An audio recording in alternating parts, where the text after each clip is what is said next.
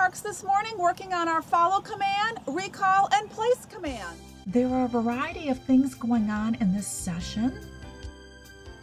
Massaging dogs is not only relaxing, it also prepares them to be touched on various body parts when they need to go into the vet. By using massage therapy, that's also a bonding tool. Various desensitizations are taking place, not only to touch, but also to the sights and sounds of the park.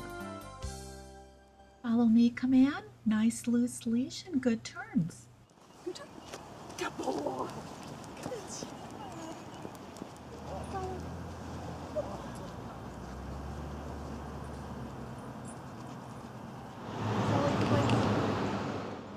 Continuing with Sully's place command, I'm using my body as a distraction.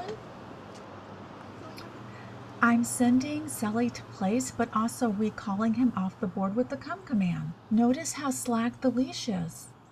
I must allow Sully to make mistakes so that he can learn.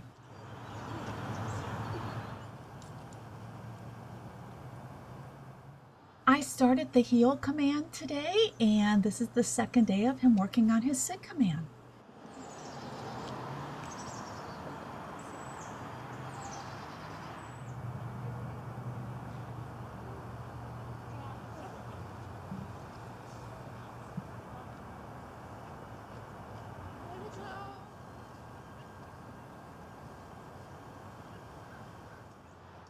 Sully has graduated from a 6 foot leash to a 15 foot leash.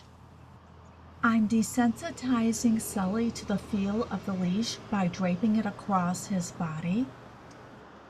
I noted that when the leash wrapped around his feet walking that he just stopped.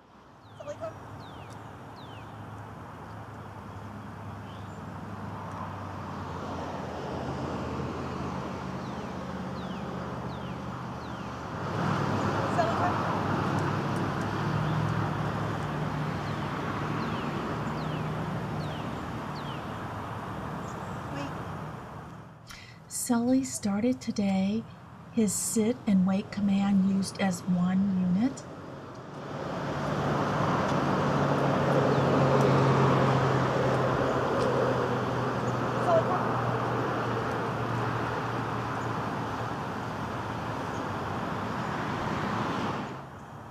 Sully, please.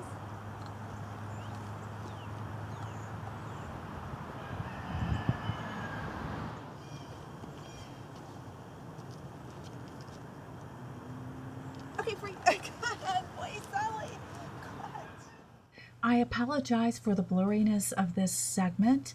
I wanted you to see though that Sully is playing with his ball.